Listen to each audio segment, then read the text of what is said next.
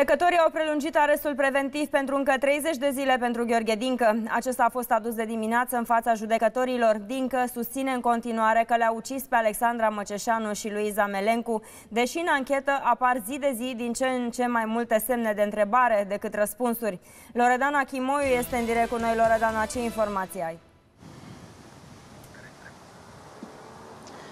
Bună ziua, așa este. Astăzi, din nou, Dinca a fost față în față cu magistrații de aici, de la Tribunalul Olt. Nu a fost nicio surpriză. Bineînțeles că aceștia au uh, prelungit uh, mandatul de arestare până pe data de 24 octombrie, inclusiv.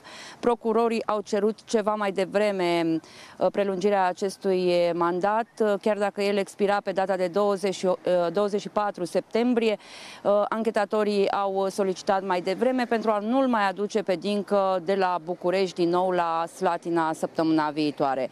Procurorul uh, de caz, care a fost în uh, sala de judecată, le-a arătat uh, magistraților magistraților noile probe pe care le, le-ar avea la dosar. Au uh, vorbit inclusiv despre cele două reconstituiri ale crimelor uh, în cazul Alexandrei și Luizei. Dinca a fost destul de spășit, uh, nu a comentat nimic, nu a obiectat absolut nimic, mai mult decât atunci, atunci când i s-a adus la cunoștință că mandatul de arestare preventivă se va prelungi cu încă 30 de zile.